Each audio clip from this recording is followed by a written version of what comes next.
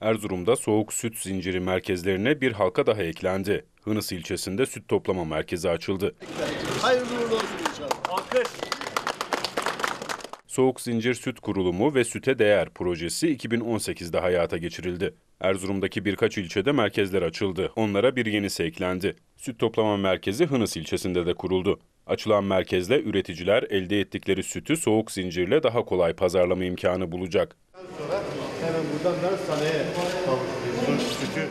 İnşallah Sayın Valim bu bölgeyi gördüğünüz bölgeyi mandıra olarak kuruyoruz. Bölgede de en çok desteği alan ilçe biz olduk. 3,5 trilyon mandıra için destek aldık.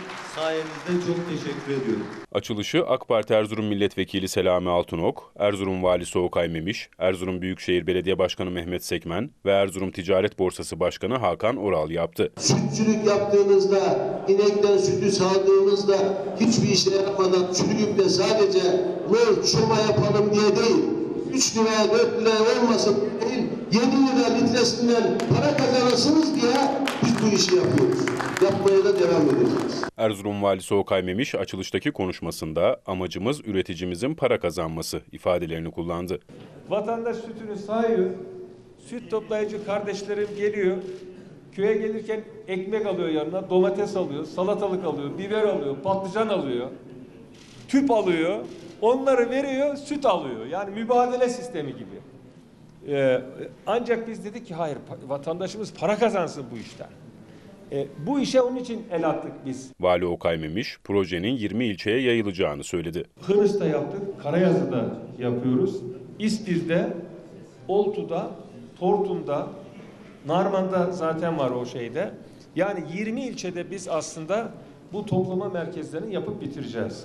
Erzurum Büyükşehir Belediye Başkanı Mehmet Sekmen, Soğuk Süt Zinciri projesinin Cumhurbaşkanı Erdoğan'ın talimatıyla başlatıldığını belirtti. Sayın Cumhurbaşkanımız Erzurum'umuzda ne kadar süt toplanıyor, ne kadar etçil hayvanınız var diye bize bir soru yöneltti. Dedik ki süt toplanıyor ama ne kadar toplandığını bilmiyoruz. Daha çok evlerde bu sütü işliyorlar.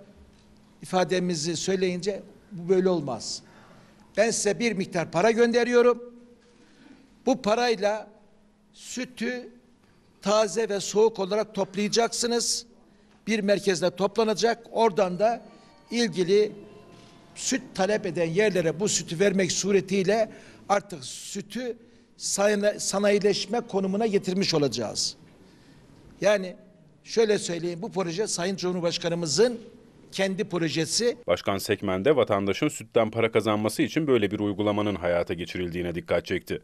İstiyoruz ki Hınısımız, Tekmanımız, Karayazımız, Karaçobanımız, sırasıyla Horasanımız, bütün ilçelerimiz, insanlarımız madem hayvancılık yapıyor, bunun sütünden, değerinden istifade etsin. Artık evde de sadece basit usullerle peynir, yağ yapıp şey yapmayalım, bunu değerlendirelim ve insanımız hayvancılığa büyük bir önem versin. Projenin olmadığı ilçelerde şu an süt ortalama 4 ve 4.50 fiyatında ama Hınıs ilçemizde şu anda 6 liraya süt topluyor. merhaba tekrar.